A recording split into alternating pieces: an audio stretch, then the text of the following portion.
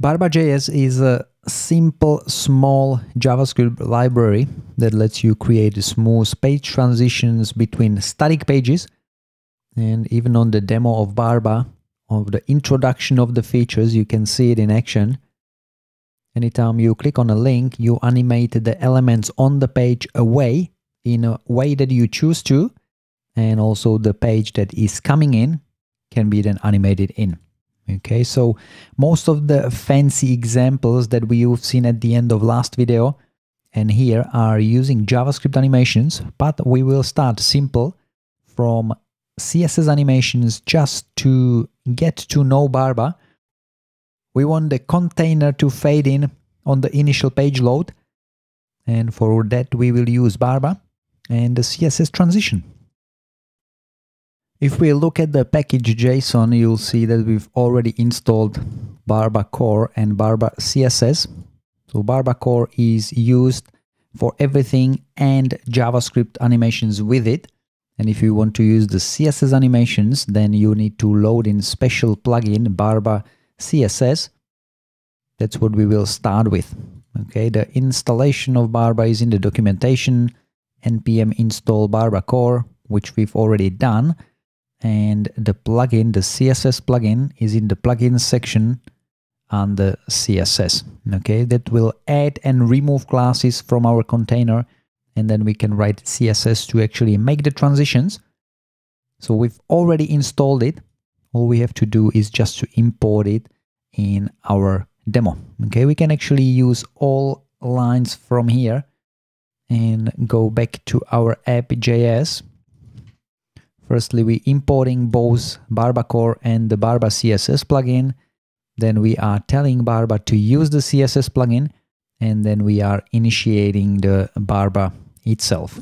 The other thing we need to tell Barba is to mark some of the HTML as a wrapper and some of it needs to be a container. Okay, so wrapper is usually on the body or on something quite high in the DOM hierarchy and the Data Barba container is usually on a main or header or any element inside of the wrapper. So that's the only requirement. Wrapper should be always around the container and any content between the wrapper and container will stay the same between pages and the container itself will be swapped with the container from the next page. Okay, so both the current page and the next page, they need to have container and these containers will be replaced by Barba.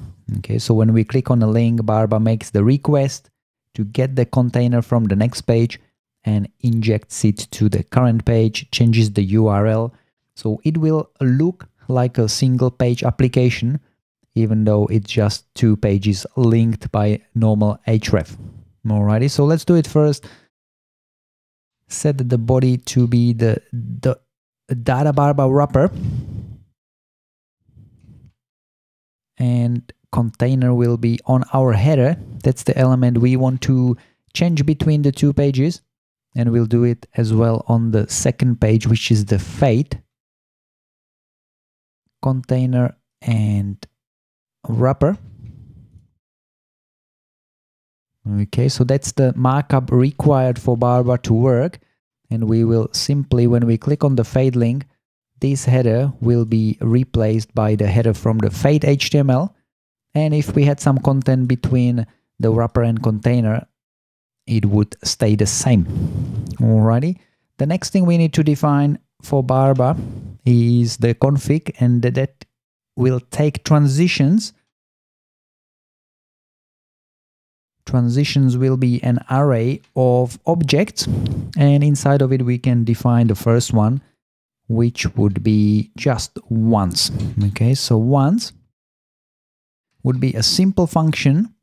And if we define this, then Barba with the CSS plugin will generate some classes for us that we can then write in the style sheet and see it happening in the browser. Okay, so we need to write the empty function, empty method, empty hook, Barba calls it a hook, and once it's called once because it happens once on the page load and then will never happen again. Alrighty, so let's see that. If we go to a browser, we won't see much happening Let's open the DevTools and see if we have some classes applied to the header. If I refresh,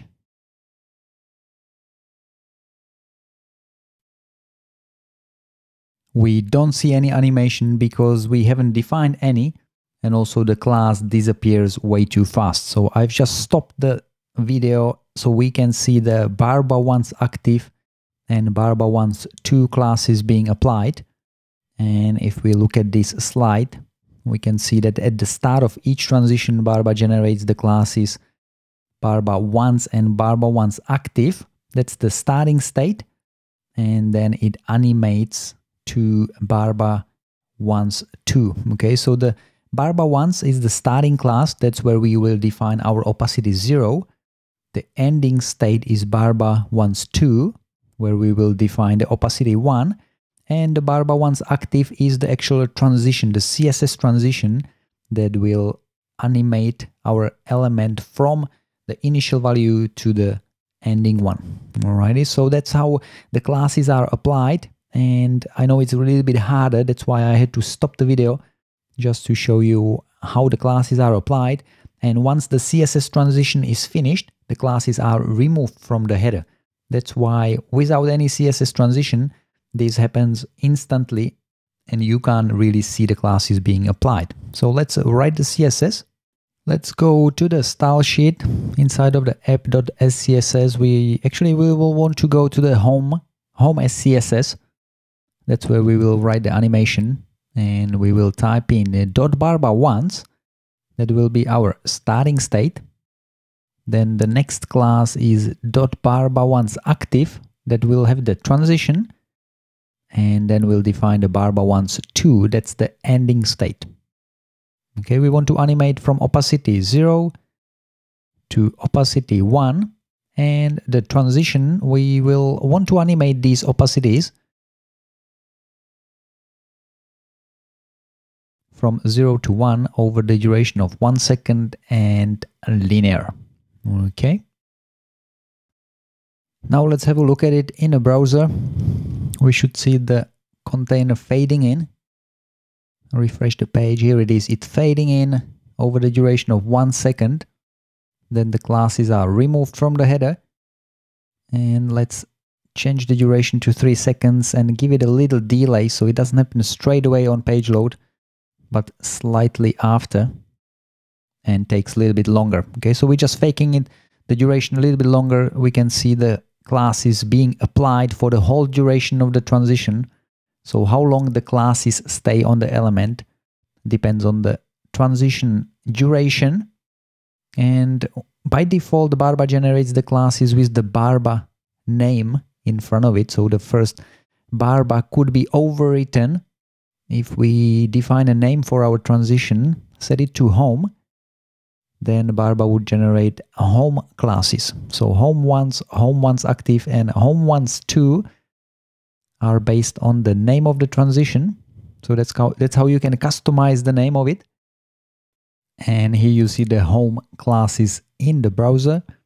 Now let's go back to the JavaScript and we'll create two more hooks.